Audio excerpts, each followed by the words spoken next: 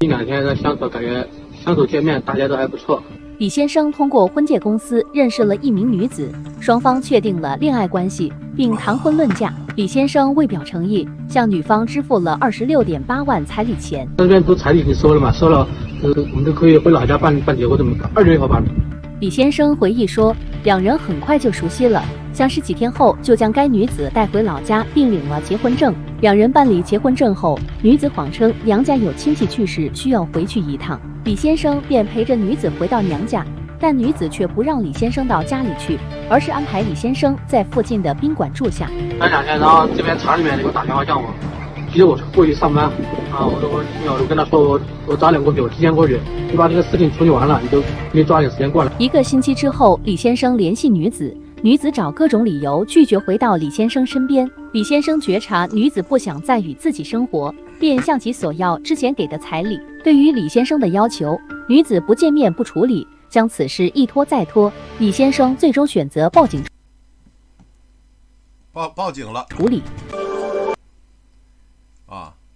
这个有人呃指责呢，就是这个男的呢，你肯定有问题，没问题，就你那个脑袋瓜子搞不了对象，一搞对象就上当受骗。有人指责女的。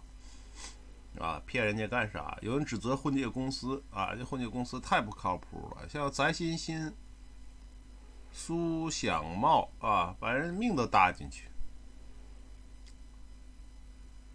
哎呀，很让我想起来啊，就是那个阿里巴巴最初始发家的时候，阿里巴巴发家，有老师指出来，那是低人权优势啊，这是大的背景。他运用的手段呢，就是最吸引人的那个东西。就当初啊，我们这个企业和企业之间呢，人和人之间呢，这个生意没办法完成，没办法完成的原因就是你先发货吧，他不给钱；你先打钱吧，你先打款吧，他不发货。这个你怎么弄啊？这个是当初企业最头疼、最头疼的问题。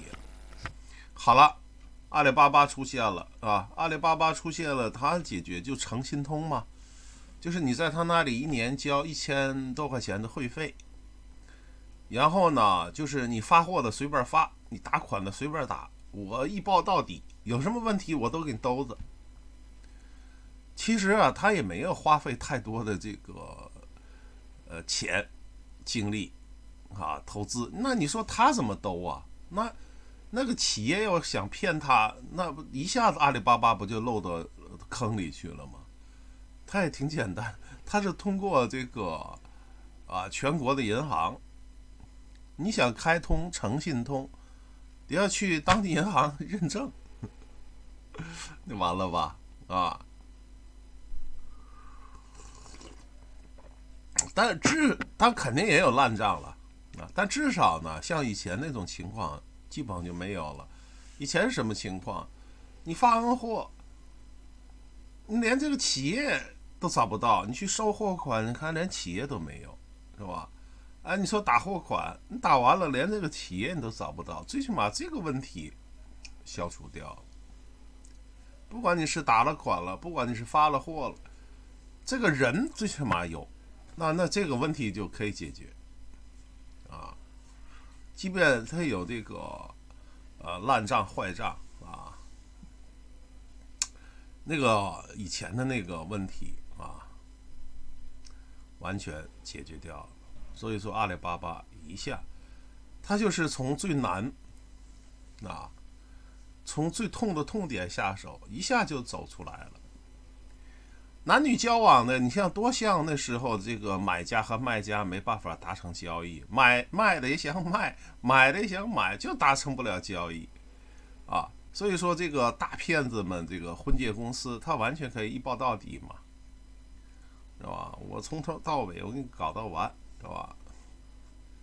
你不已经有缺陷了吗？是吧？你那个脑袋瓜子，不已经你完成不了这个？婚恋和家庭这个事儿了嘛，是吧？既然你那个脑袋瓜子可以在我这里找对象，是吧？我依然可以说服你，呃，从头到尾给你包服务，一条龙，啊，这个对于这个大骗子婚介公司们是个商机呀。反正匪夷所思是吧？你他说啥你信啥？你怎么不说到底呢？那这样子也倒逼你从头，你也好好的给干这个事儿呗，是吧？头上你别骗人家了呗，是吧？就是那种叫做贷款员终身制嘛，是吧？这个客户，如果你给搞了啊男女。配对成功了，你这个业务员终身服务他，是吧？我公司为这个业务员担保，业务员要为这个两个人的幸福担保啊！这整个的利益链条跟他捆在一起啊！当然，你那服务费你要多付，反正你已经脑残了呗，是吧？啊，呃，慢慢慢慢的，你这个。婚姻也解决好了，家家庭也解决好了，是吧？心态也平和了，脑袋瓜子慢慢慢慢的被觉醒了啊，不脑残了。恋爱婚姻可以觉醒人的，它具有宗教性质的啊，它不但是有交易性质，像两个生意生意人做生意，它不但像强盗和被掠夺。那他就是在爱情里面，啊，他不但像赌场，啊，像这个红灯区啊，纵欲场所，啊，像斗兽场，都都有这个属性。它应该还有一个区域呢，像教堂，啊，就是有灵魂、有人性升华的东西。人人性灵魂都升华了，还这么笨吗？百分之九十九点九的人把婚姻浪费掉，啊，走向了愚蠢，变成了笨蛋，啊，原本就挺笨的，结果结了婚以后就更笨，啊，那完全不能怪婚姻，是吧？那是自由意志的问题。糖，那糖是据说是非常重要的开发人脑子的一个物质了，啊。可是糖又造成现代的问题，就是肥胖啊、疾病啊，就是糖。你，你怪糖嘛，是吧？你。